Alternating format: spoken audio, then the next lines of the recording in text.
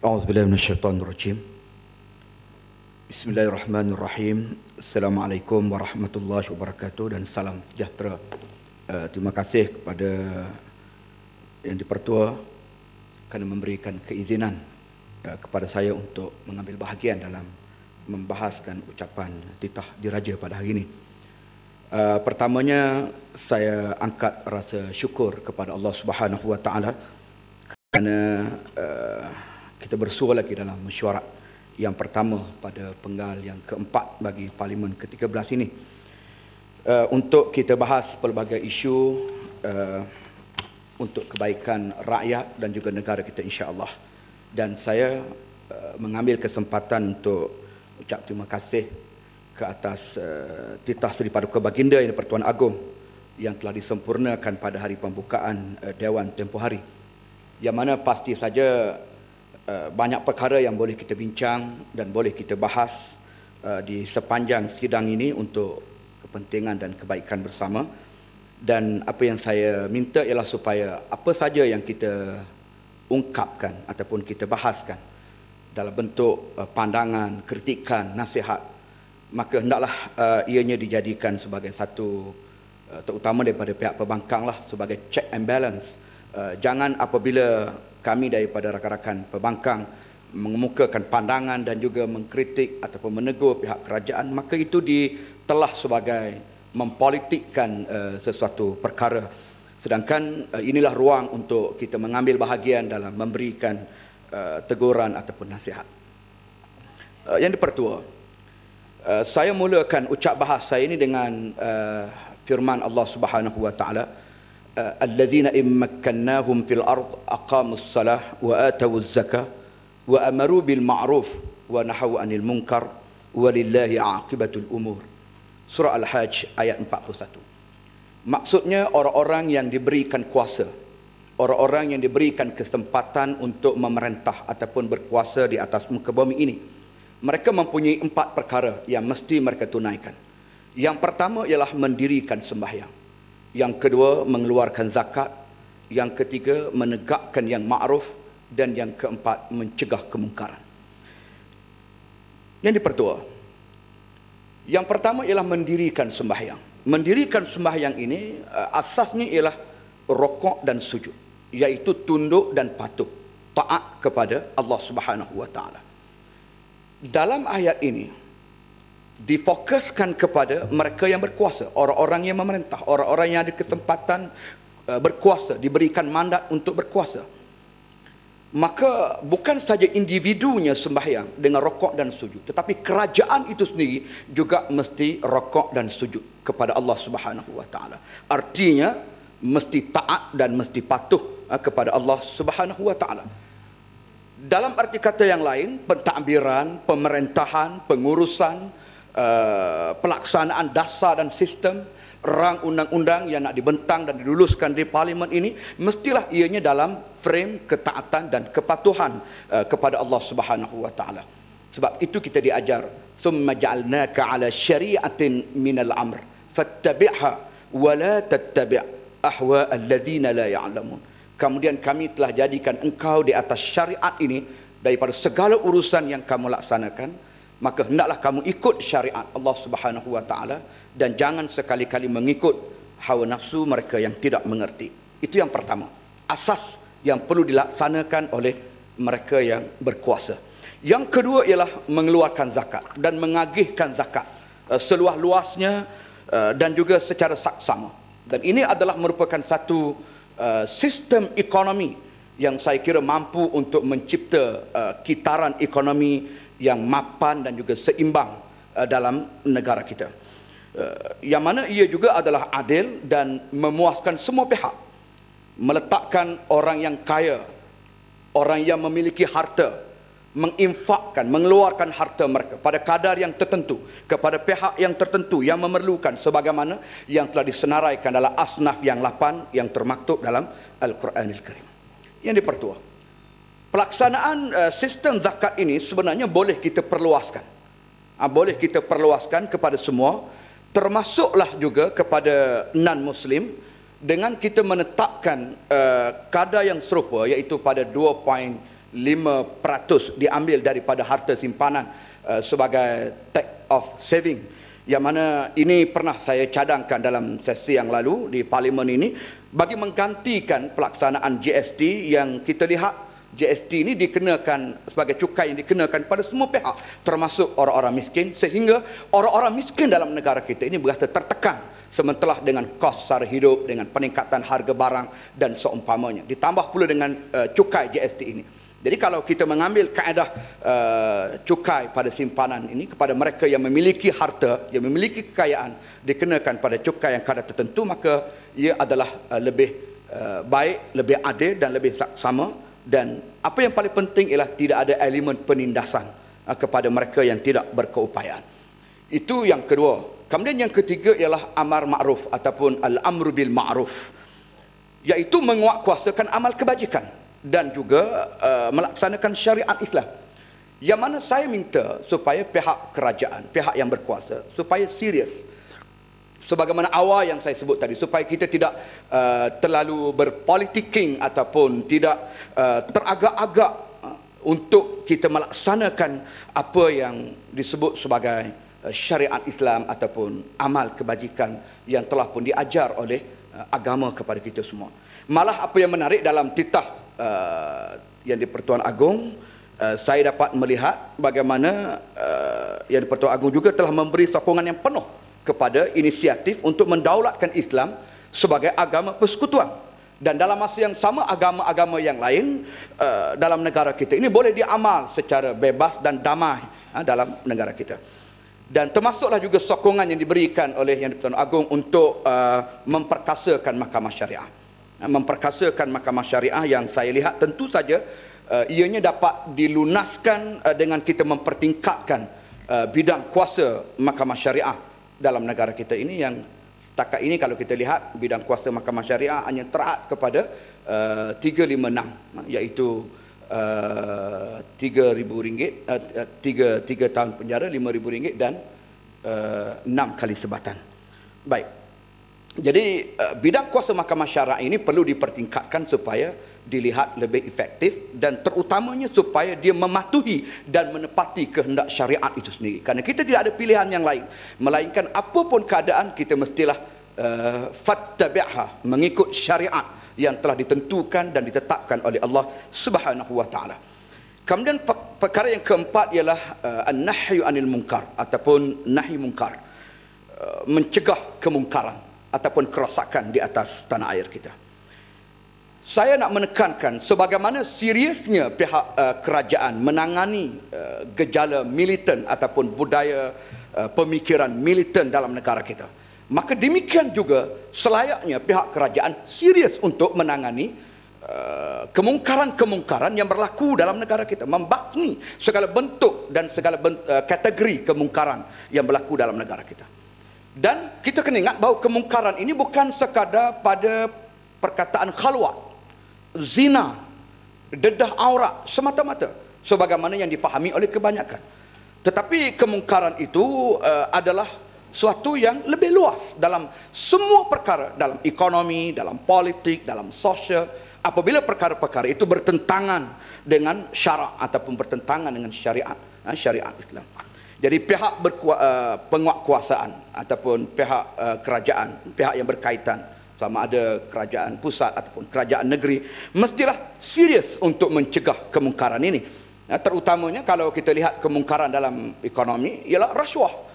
Rasuah yang semakin hari semakin berleluasa semakin hari semakin meningkat indeks rasuah sangat membimbangkan sedangkan negara kita rata-ratanya daripada pemimpin sampailah kepada anggota-anggota kabinetnya dan juga ahli parlimennya rata-ratanya adalah mereka yang beragama Islam. Kemudian agama Islam adalah agama rasmi dan sementara uh, rasuah itu juga adalah suatu yang ditentang oleh semua pihak. Semua pihak tanpa kira agama. Kerana ini adalah merupakan satu mungkar satu jenayah uh, yang yang yang ditolak uh, yang yang merosakkan tamadun yang meruntuhkan uh, negara kita termasuk juga penyalahgunaan kuasa uh, penyalahgunaan kuasa dan juga jenayah-jenayah lain seperti judi, pelacuran dan seumpamanya yang mesti ditangani uh, secara secara berkesan. Baik, itu empat perkara daripada ayat yang saya jadikan sebagai mukaddimah uh, ucapan saya pada uh, kesempatan ini. Ini yang dipertua. Uh, saya ada beberapa isu yang ingin diutarakan pada kesempatan ini sehubungan dengan uh, saranan yang dikemukakan oleh uh, Seri Paduka Baginda yang di-Pertuan Agong dalam ucapan uh, ucap titah uh, Baginda yang mana uh, isu yang pertama yang saya nak sebut di sini ialah Uh, berkait dengan usaha-usaha untuk meningkatkan uh, kualiti pendidikan negara. Yang mana saya kira ini adalah suatu yang perlu diberikan perhatian dan uh, tentu saja isu yang hangat mutakhir ini ialah berkait dengan program pelaksanaan dua bahasa ataupun dua language program DLP. Yang mana isu DLP ini telah mendapat liputan meluas daripada media dalam negara kita berikutan uh, diumumkan bahawa tahun ini tahun 2016 adalah merupakan tahun projek rintis uh, DLP yang dilaksanakan pada 300 buah uh, sekolah menengah dan juga rendah di seluruh negara. Uh, yang dipertua kita tahu bahawa uh, DLP ini adalah uh, suatu yang dijadikan sebagai uh, gelombang kedua bagi pelan pembangunan uh, pendidikan Malaysia yang melibatkan RM 38.5 juta ringgit Malaysia. Jadi di mana pelaksanaan ini melibatkan uh, sains, matematik, uh, teknologi maklumat dan komunikasi serta reka bentuk dan teknologi. Yang mana ia akan dijalankan uh, dengan menggunakan bahasa Inggeris bagi projek rintis di 300 buah uh, sekolah yang saya sebutkan tadi. Walaupun DLP ini uh, disebut bahawa bersifat pilihan tetapi apa yang membimbangi kita yang menjadi perbahasan umumnya ialah uh, dia nantinya akan wujud apa yang disebut sebagai dualism dalam uh, sistem pendidikan negara. Nanti ada sekolah yang akan guna bahasa Malaysia, bahasa ibunda dan ada sekolah yang akan guna uh, bahasa Inggeris. Dan tentunya secara umum akan dilihat sekolah-sekolah bandar mereka akan lebih memilih menggunakan bahasa Inggeris dan mungkin sekolah-sekolah di pendalaman ataupun di kampung-kampung yang tidak mempunyai kemudahan, prasarana yang cukup, kemahiran yang baik, mereka akan memilih bahasa ibunda. Jadi kaedah ini akhirnya mewujudkan dualism uh, dalam sistem pendidikan negara dan ini kembali kepada era uh, 70-an uh, yang lalu ataupun kembali ke belakang. Dan ini adalah suatu yang uh, tidak baik sebenarnya untuk uh, peningkatan Uh, sistem pendidikan dalam negara kita. Dan lebih malang nanti bahasa Melayu akan terus kekal menjadi bahasa kelas kedua. Uh, tidak dipilih oleh uh, peringkat uh, men, apa peringkat uh, yang lebih uh, lebih maju ke hadapan di peringkat nasional dan juga di peringkat antarabangsa. Jadi secara tak langsungnya yang petua ini juga akan uh, melebarkan kesenjangan uh, sosioekonomi antara uh, bandar dan juga luar bandar. Ini dipertua. DLP ini uh, umumnya memang kita tahu bahawa ini adalah merupakan jelmaan semula kepada uh, PPSMI yang telah pun diperkenalkan tahun 2003 yang lalu yang kemudiannya dimansuhkan pada tahun 2009 dan dimansuhkan itu kerana setelah uh, ianya terbukti gagal dalam pelaksanaan. Ha, terbukti gagal. Kalau kita lihat uh, pada kajian yang dibuat dia ada dua fasa kajian yang saya di uh, dimaklumkan dan kita pun boleh lihat pada pada data kajian tersebut. Kajian fasa yang pertama ialah kesan dasar PPSMI ini yang mana penggunaan bahasa Inggeris uh, bagi sains dan matematik memang melemahkan pembelajaran dan dan juga uh, prestasi pelajar dalam negara kita yang mana disebut di sini ialah 75% pelajar sukar untuk memahami matematik dan sains menggunakan bahasa Inggeris. Kemudian 10 hingga 15% sahaja guru yang menggunakan bahasa Inggeris sepenuhnya uh, kerana masalah penguasaan bahasa Inggeris yang lemah dalam subjek yang berkenaan. Itu kajian pertama. Kajian fasa kedua, kesan uh, dasar PPSMI ini di sekolah menengah dan juga rendah sebagaimana yang dikemukakan oleh pihak pengkaji yang diketuai oleh uh, Profesor Emeritus uh, Datuk Dr. Ishak Harun daripada uh, UPSI yang mana jelas uh, conclusionnya ataupun kesimpulannya ialah dasar PP, PPSMI itu adalah gagal kerana 10 hingga 12% sahaja guru agama uh, guru-guru yang menggunakan uh, bahasa Inggeris ini di uh, dalam dasar PPSMI tadi. Kemudian hanya 6.2% murid tahun 5 rasa selesa dengan PPSMI dan hanya 11.8% murid tingkatan 2 rasa selesa dengan dasar PPSMI. Artinya ini gagal. Jadi apabila gagal kemudian dijelmakan uh, dengan nama baru tapi dalam konsep yang hampir serupa dan ini sekali lagi saya bimbang dia akan uh, menjurus kepada kegagalan yang yang sama. Ini pertama. Uh, forum pendidikan antarabangsa yang melibatkan UNESCO dan juga World Declaration on Education for All EFA dan lain-lain uh, turut menekankan pentingnya pendidikan uh, pelajar menggunakan bahasa ibunda walaupun dalam apa subjek yang diajarkan. Jadi apapun alasan yang dikemukakan oleh kerajaan uh, mengenai dengan pelaksanaan DLP ini uh, antaranya disebut uh, kerana kegagalan pelajar-pelajar ataupun graduan-graduan menguasai bahasa Inggeris sehingga membawa kepada faktor pengangguran yang banyak dalam negara kita.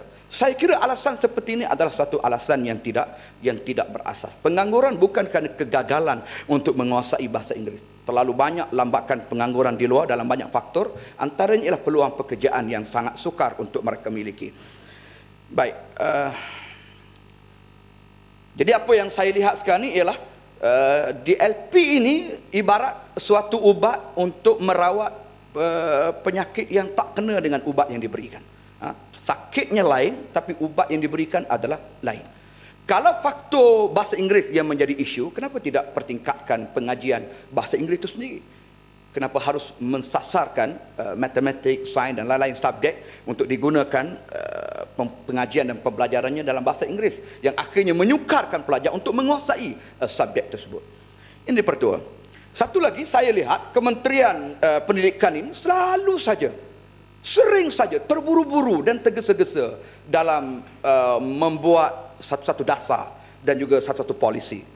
Selain daripada PPSMI yang saya sebutkan tadi, uh, kita juga kalau kita ingat ya tentang uh, pentaksiran berasaskan sekolah PBS yang akhirnya tukar kepada PT3 uh, pentaksiran tingkatan 3. Jadi dia beralih bertukar dalam tempoh yang singkat mengorbankan wang yang begitu banyak memeningkan pelajar dan guru dalam perubahan sistem dalam tempoh yang masa dalam tempoh masa yang dekat. Jadi ini banyak perkara yang akhirnya mengganggu dan tidak memberi kesan yang positif kepada pendidikan dalam negara kita jadi apa yang saya mahu tegaskan di sini uh, yang dipertua dalam dewan yang mulia ini janganlah akhirnya nanti sampai orang mendakwa bahawa uh, perkara-perkara macam ini dasar dan juga polisi seperti ini hanyalah kerajaan nak create uh, satu projek yang nak diberikan kepada orang-orang tertentu dan ataupun uh, rakan-rakan kroni-kroni tertentu sahaja. Yang akhirnya uh, dia akan memberi imej yang salah dan juga buruk kepada kerajaan sendiri.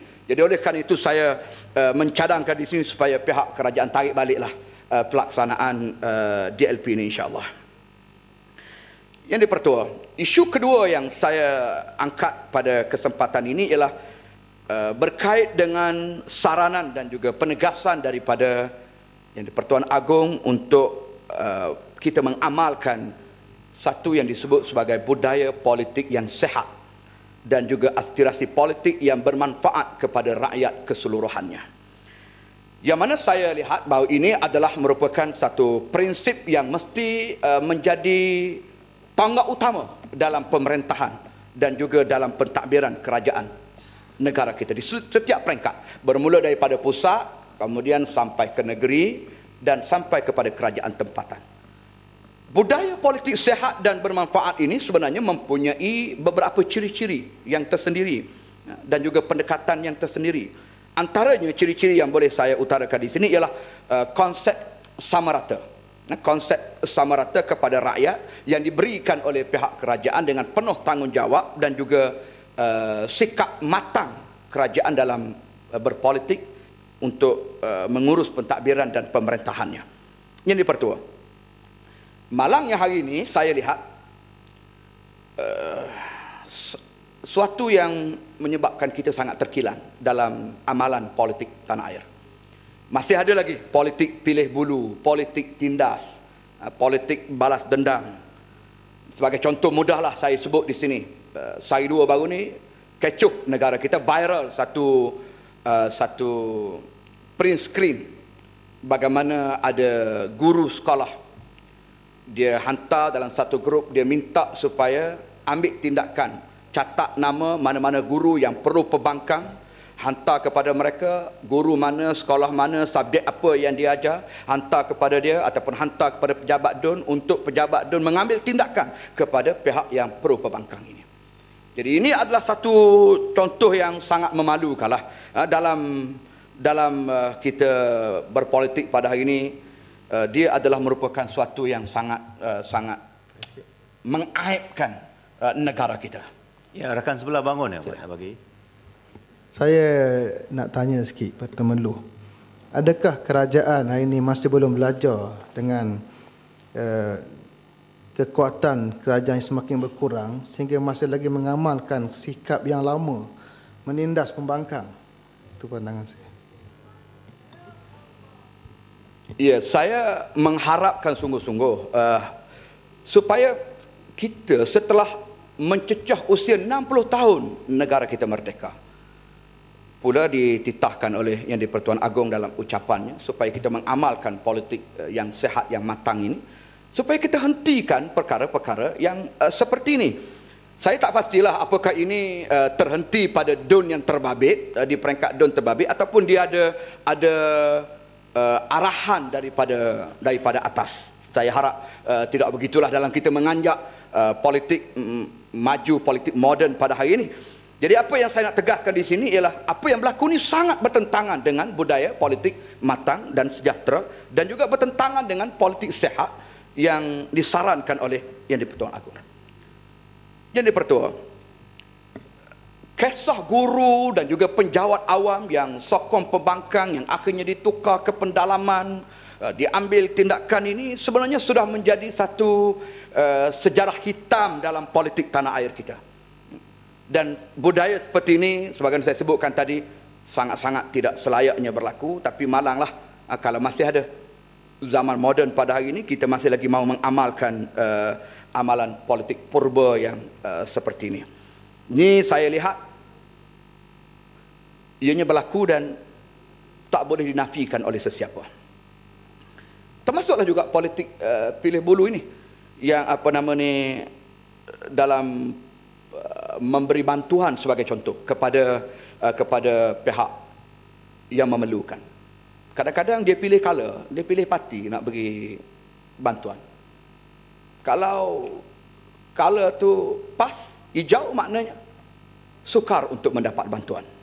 Ini saya sebut ni apa yang berlaku di Temeluk sebagai contoh di kawasan yang saya wakili berapa kali dah saya dengan pegawai-pegawai saya panjat ke jabatan-jabatan, panjat ke uh, apa ni pihak uh, kementerian supaya menghulurkan uh, bantuan terumpamanya berlakunya jalan rosak, uh, hakisan tebing yang yang berlaku di tepi-tepi sungai Semantan, uh, kotornya sungai Pahang sehingga menjejaskan nelayan-nelayan uh, sungai sehingga kekerohan sungai Pahang ini sangat luar biasa sehingga nelayan-nelayan sungai terancam dan mereka tidak lagi mudah untuk uh, mencari makan. Jadi saya bawa kes-kes ini untuk diambil pertimbangan, untuk diberikan bantuan kepada mereka yang memerlukan, termasuklah bekalan anak ikan dan seumpamanya.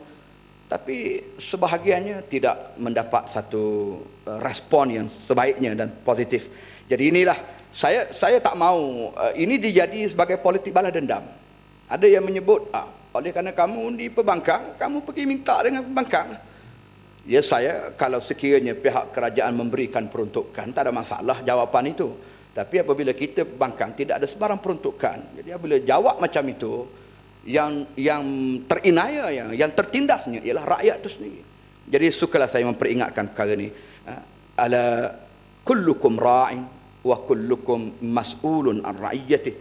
Fal amir alladhi 'ala an-nasi ra'in 'alaihim wa huwa mas'ulun anhum. Ketahuilah kata Rasulullah sallallahu alaihi wasallam, setiap kamu adalah pemimpin dan kamu nantinya akan dipertanggungjawab, akan dipersoalkan tentang kepimpinan kamu.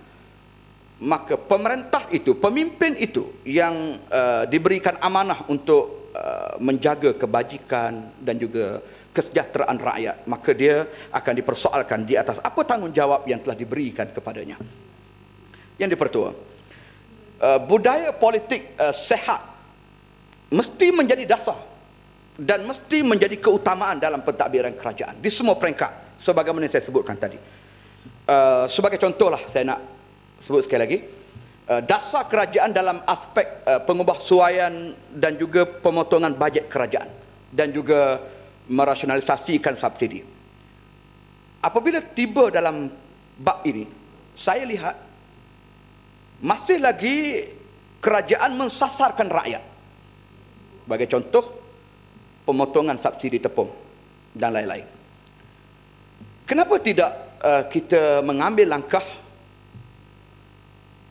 menyelamatkan rakyat ataupun tidak mensasarkan rakyat? Ya, saya tahu. Slogan Eh, kerajaan ialah rakyat didahulukan. Tapi jangan. Maksud rakyat didahulukan itu ialah membebankan rakyat dulu. Sehingga akhirnya uh, rakyat sentiasa menjadi tersepit dalam keadaan ini. Kenapa tidak untuk uh, memulangkan kembali ataupun untuk menyuburkan semula potensi pertumbuhan ekonomi negara dengan kita mengamalkan uh, sistem jimat cermat tidak membazir Uh, membatalkan projek-projek besar, projek-projek mewah yang tidak memberikan keuntungan kepada rakyat. Uh, mengamalkan langkah jimat cermat itu di peringkat pentadbiran dan pengurusan. Menamatkan ketirisan, kebocoran sebagaimana yang kita baca dalam laporan audit saban tahun berlaku pada kementerian, berlaku pada JLC ambil tindakan-tindakan itu. Pada jangka pendek dan jangka panjang ini dia boleh menyelesaikan. Tidak hanya sekadar uh, nampak rakyat kena, rakyat kena kena bayar cukai, kena potong itu, kena potong ini. Sedangkan rakyat sekarang ini sedang berdepan dengan apa yang selalu kita ulang, selalu kita sebut dengan kos sara hidup yang begitu tinggi dan juga dengan tekanan kekangan ekonomi yang begitu yang begitu tenat. Jadi saya juga mengambil kesempatan ini untuk memperingatkan kita semua uh, apa yang uh, pernah disebut oleh Sayyidatina Aisyah radhiyallahu anha. Dia dengar Nabi kita Muhammad sallallahu alaihi wasallam telah berdoa dengan satu doa, Allahumma man waliya min amri ummati syai'a fashaqqa alaihim fashquqa alaih wa man waliya min amir min amri ummati farafaqa bihim farfuq bih. Maksudnya ya Allah siapa-siapa yang bertanggungjawab memimpin dan mengurus urusan umatku tiba-tiba dia menyusahkannya dia menyusahkan umatku. Dia menyusahkan rakyatnya sendiri. Dalam keadaan dia adalah pemimpin. Fashfuk alaih.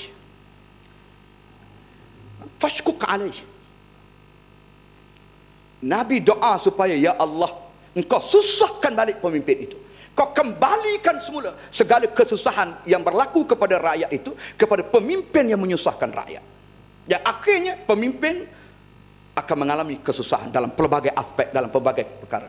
Kalau kita muhasabah balik, kenapa pemimpin hidup dalam keadaan susah, terganggu dengan tekanan dengan begitu uh, hebat, nak tidur malam pun tak lena, di ugut, diancam dan macam-macam masalah melingkari kehidupan.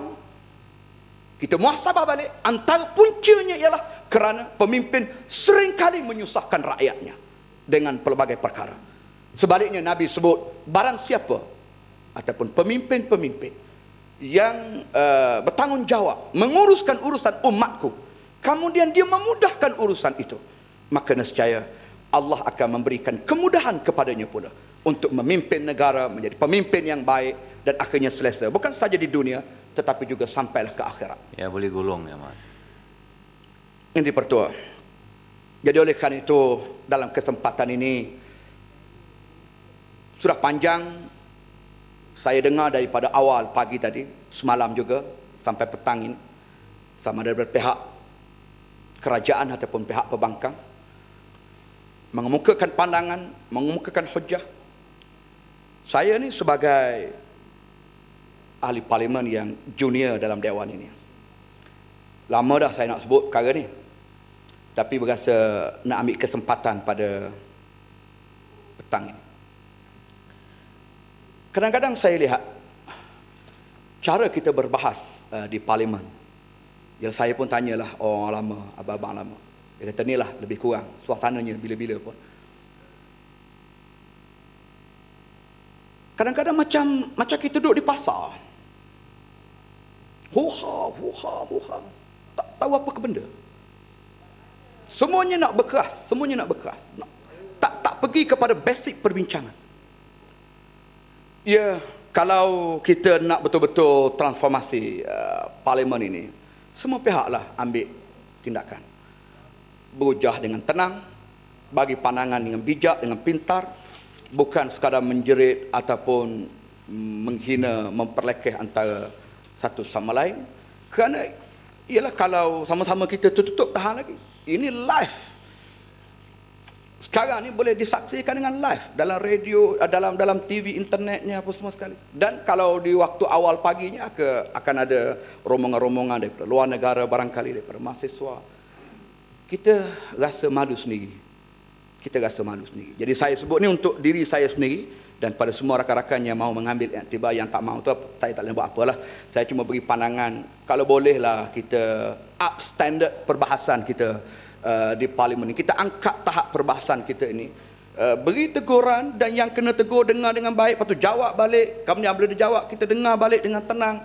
Dan kali hmm. ni kita bahas, kita nak cari Kalau semua macam tu yang Muhammad senang supaya semua pihak dapat uh, menginsafi. Ya. Terima kasih yang dipertua. Dengan ya. itu saya mengakhiri uh, ucapan saya. Bagus satu ambil tiba daripada teguran uh, Temerloh kerja speaker pun akan senang.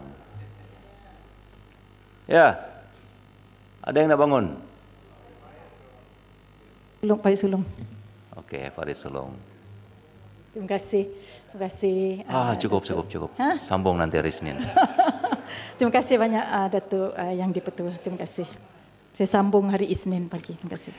Hadirin Muhammad, Masyarakat Dewan Hari tangguhkan sehingga jam 10 pagi hari Isnin 14 Mac 2016.